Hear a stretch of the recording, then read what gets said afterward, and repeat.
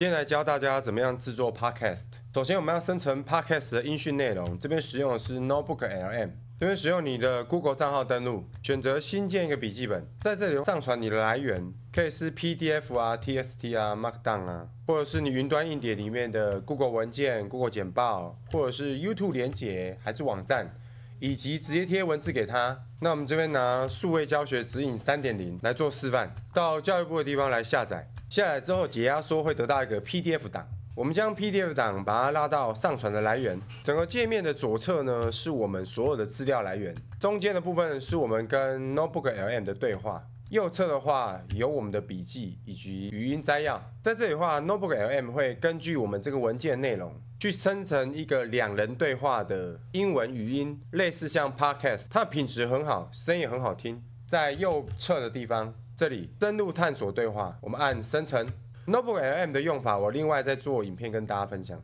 生成对话需要一些时间，请耐心等候。生成对话的同时，我要来制作 Podcast 影片的两位主持人对谈的画面。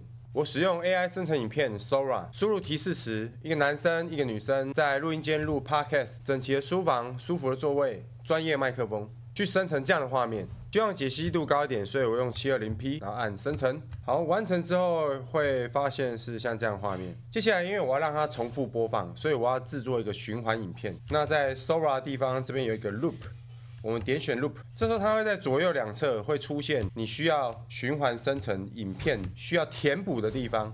这边可以选你要多长。那如果你要流畅一点的话，我们一般会选 Long，会左边加三秒，右边加三秒，总共多六秒。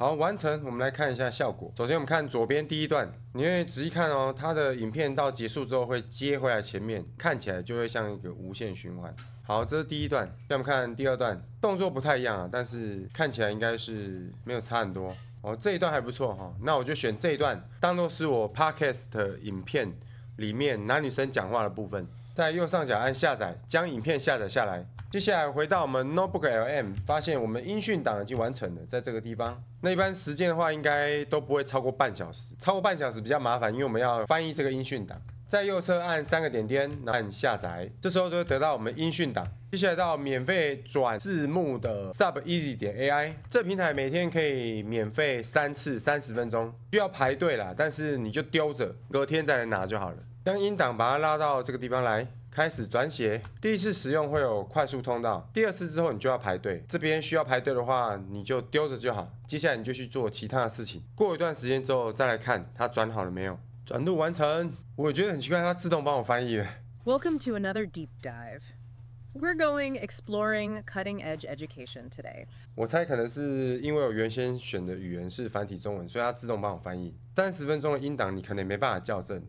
就没有关系，直接输出就好。接下来按右上角的绘出，我们绘出字幕档，这边就不用动它，按下载就可以了。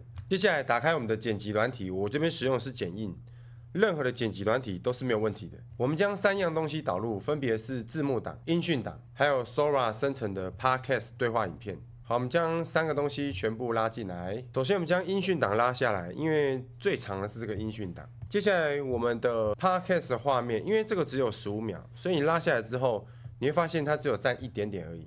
可是我们音讯档有三十分钟，这时候怎么办呢？我们必须要重复去复制这个影片，所以我们将这影片复制，将它叠上去。因为我当初设定的时候，影片是重复播放，所以你叠在一起的话，它就是会无缝接轨。接下来我们将这两个影片选取，然后复制贴上，这样就变成叠两个。接下来四个，再复制贴上。变成八个，以此类推。你这样在操作的时候，速度就会快很多。所以这样子就十六个，然后复制贴上，重复操作到我们这个影片填满整个音轨为止。其实蛮快啊，这有点像是细菌增生，每次都两倍。好，像这样我们就完成了。后面多余的部分我们就把它删掉。然后像到这个地方结束，对不对？我们就是这个地方多的，我们就把它剪掉。在最后面的地方，动画选出场，选剑影。做一个影片结束之后，画面慢慢变暗的效果。Thanks for joining us on the deep dive。好，接下来我们将字幕档把它拉上来。字幕档拉上来的话，只要对齐最左边就可以了，像这样。然后放开，所有字幕就按照我们时间轴把它对好。接下来我们把它试播一下。Welcome to another deep dive.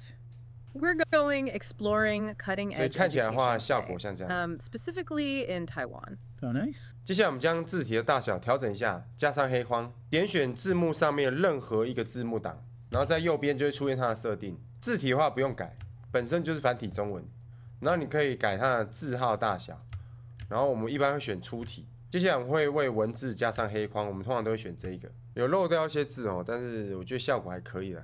完成之后，在右上角按导出，名字打上数位教学指引三，然后影片导出，字幕导出，接下来按最下方的导出，它就输出成一个一零八零 P 的 Podcast 影片，英文发音，下面是中文字幕，在下方连接你可以点选观看这个影片。好，完成，我们来看一下影片，将影片播放。Welcome to another deep dive.